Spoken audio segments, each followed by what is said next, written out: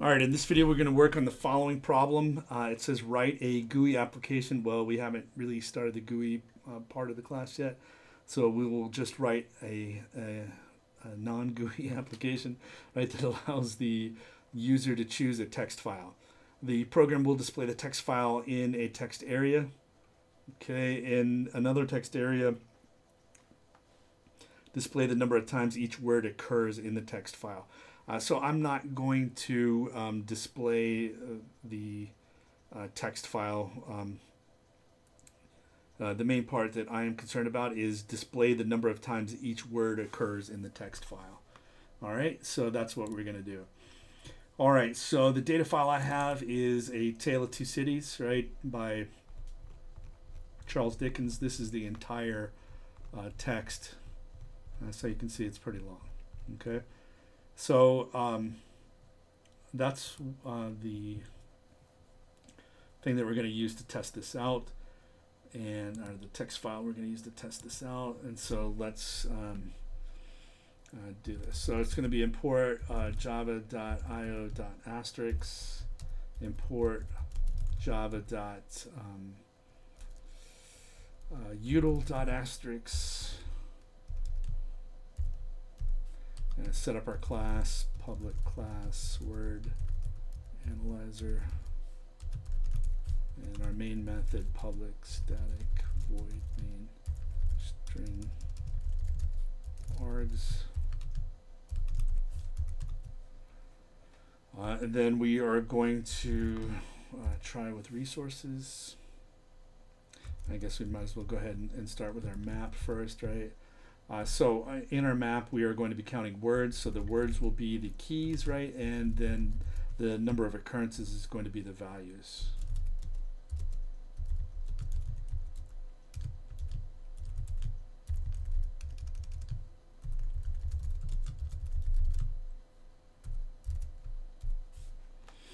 Okay. And uh, then uh, we want a file reader.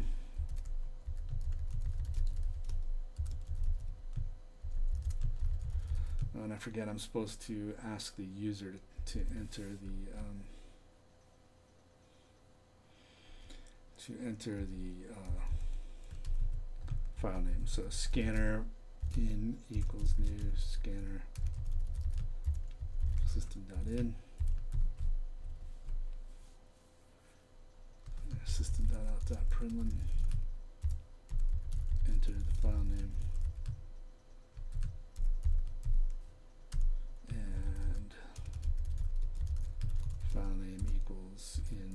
next line.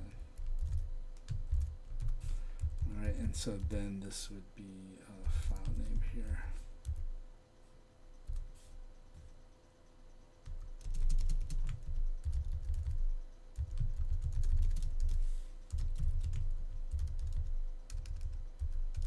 Alright, uh, wrap the file reader in a buffered reader object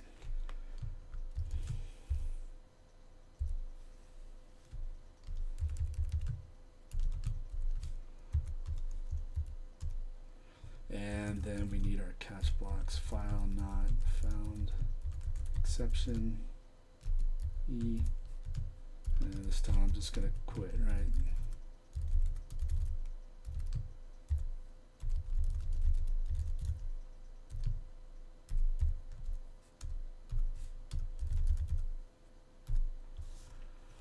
and an IO exception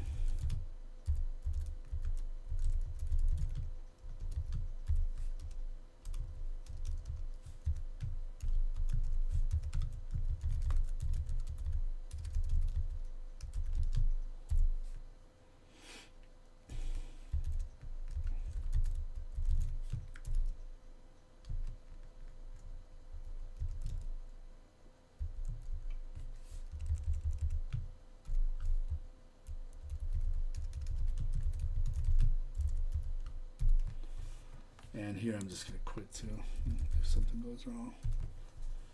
All right, let's see. That should go.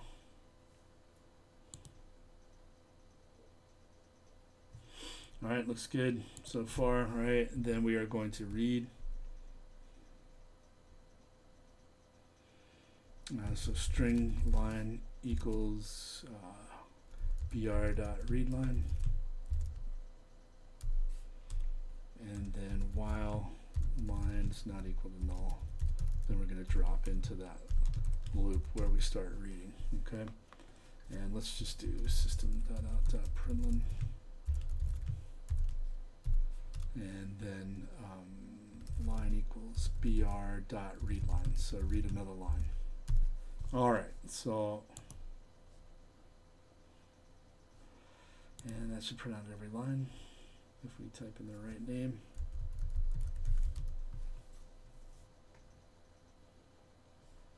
There's some funky characters in there, so and some characters here, but that's okay. All right, so what we're gonna do then now is it's reading the lines. What we're gonna do is split the lines. Uh, so um, that gives us an array of strings, right? And let's call them parts or words, I guess.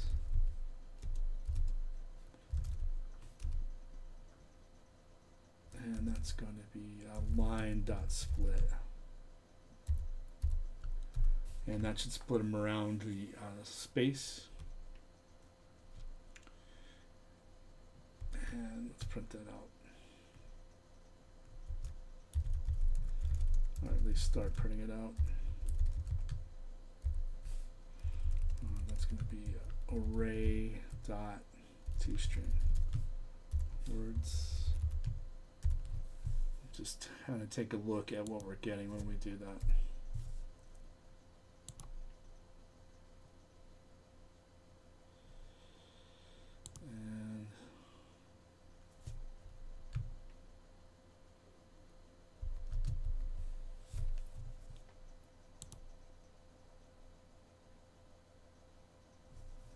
It's a raise.toString. All right,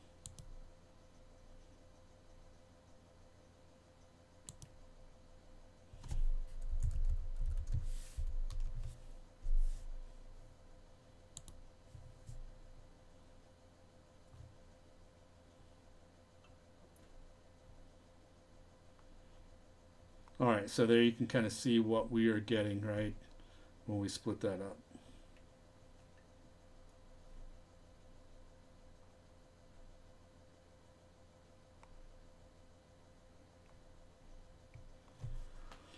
All right, and so then what we want to do is um, now then uh, go through each of those uh, words that we encounter. Okay. And so what we would do then is write a loop to go over this array. So for word in the uh, array words, right? And process that. And what we want to do is uh, we want to see um, whether or not um, the key is in there or not, okay? Um, so if map dot contains key and the key we're looking for is word. All right, so if map dot contains key word is true, right, that means that there is already a key value pair in the map, right, with word as its key. Okay, so what we would do then is we want to update that. All right, so that would be map dot replace word. Okay, and then what we would want is we would need to get the old value. Okay, so the old value associated with word would be map dot get word. That's going to return an int or an integer, and then we want to increase that by one. Okay.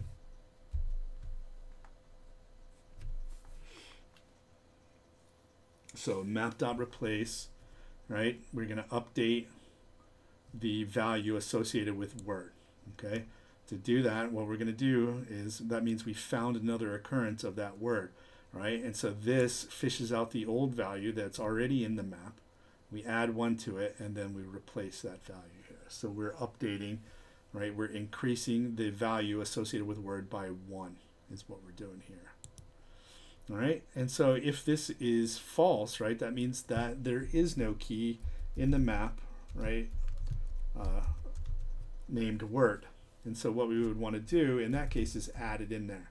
So we would add, um, put rather, word, and then the value that we would put, right, is 1 in this case. And I forgot a semicolon up here, and it looks, no, I guess it's okay. All right, so this is what would happen if we uh, find a um, a uh, a word that we found for the very first time. Okay. All right, so let's uh, run our way through that, and down at the bottom, let's print the map out. So system.out.println map. Yeah, we'll just do that first. And let's not make this uh, print out anymore.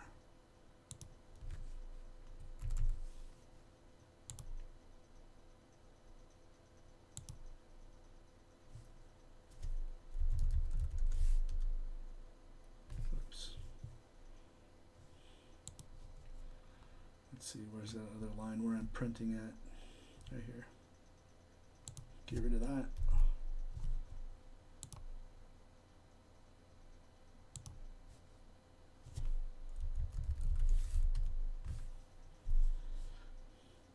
All right, and so there you go.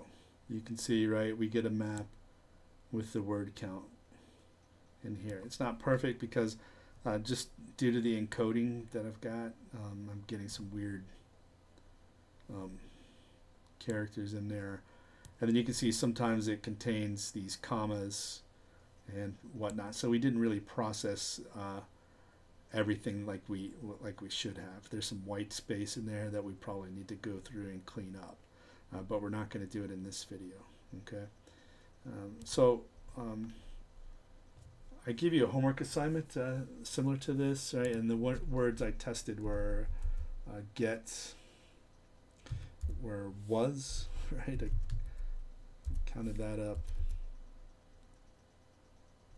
and incredulity. when I when I graded your programs.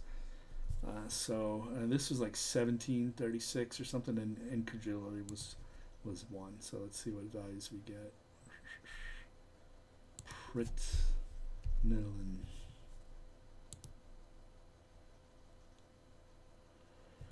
Man, oh man.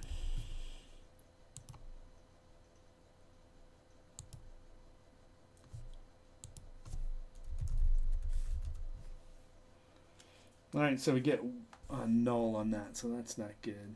And this value is off uh, here, so uh, I wonder if that's one of the words that's messed up. Let's take a look at it. Oh, I know what it was. Yeah, it was incredulity with a comma in there. That's what I. That's why because we're just using split here, we won't get it perfect unless we put that comma in there. That's the reason.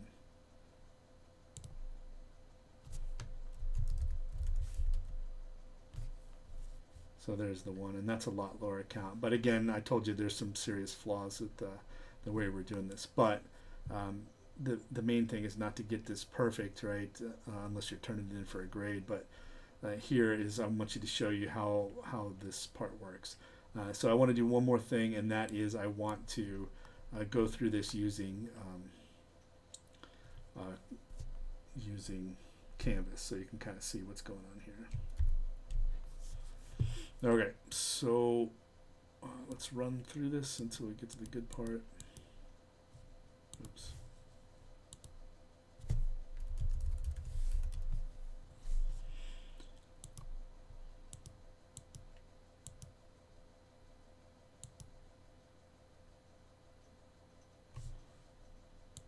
All right, here we can see line.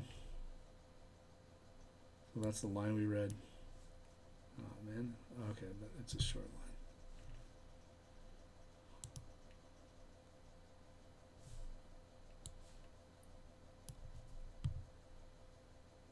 Here's the array words, how it was split.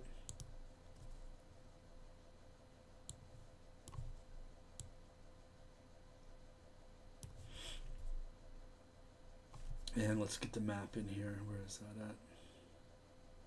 Here it is. Let's see if I can figure out how to get back to the key values.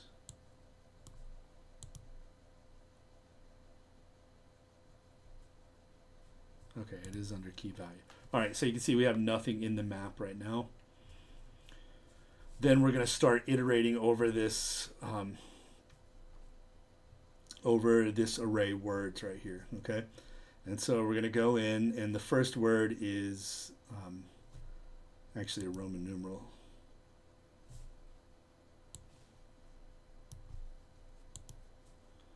All right, and so now then I'm going to check, hey, does this map contain uh, the Roman numeral 1 and a period as a key? And the answer, of course, is no, right? Because there's nothing in this map already. So it's you're going to see it's going to jump down here and it's going to put one uh, Roman numeral 1 period and a 1 as its value. All right, so there it is. All right, and keep going. Next word is the right? And again, there's no key value pair in here with a key of the, so you're going to see it's going to drop down to this else part. It's going to put that key value pair in there. And then um, the next word is period, right? It's going to, uh, again, period is not a key in, uh, in the map yet, so it's going to add that in there, all with ones, okay?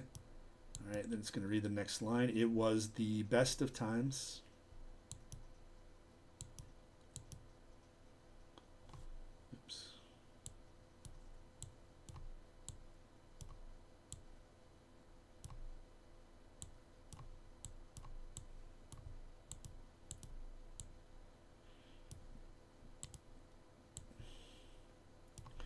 All right, and as I iterate through there, you're going to see the map grow. And I don't think any of those repeats, right?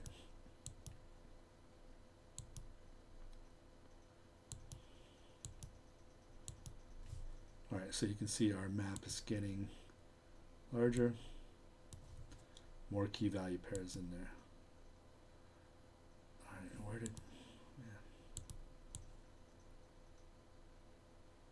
And all of it's not even in there yet. All right, so though when I read the next line, right, surely there's going to be a repeated word in there. Yes. All right, so here we go. Um, so now,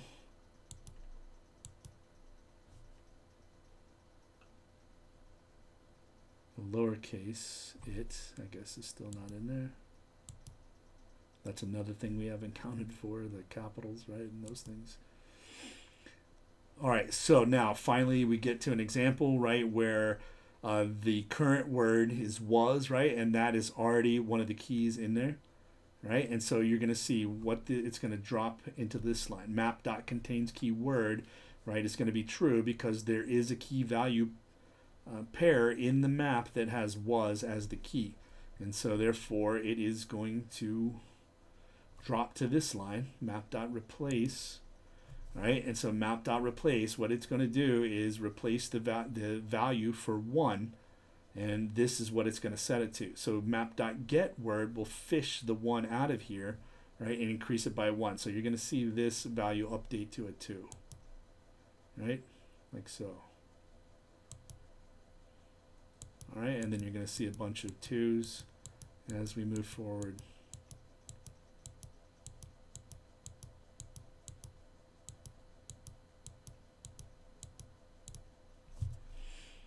All right, and so you can see that it will keep track of the words uh, that are in here, and it does so uh, pretty efficiently, right? You can imagine the other way to do this would be with a list, right, or an array, but with a list or an array, um, you know, those are indexed by by integers, and so you would have to look up, hey, where is the location of was in the list or the array. Find where that was and then do the updating. Here we don't have to do that, right? Here, uh, these numbers, these counts are indexed by the words themselves. So basically cut out the index, the middleman. And so you can see that's a lot efficient. Uh, some um, task like this that you would have to do is uh, map is just kind of tailor made for it. Okay. All right, so that does it on this one.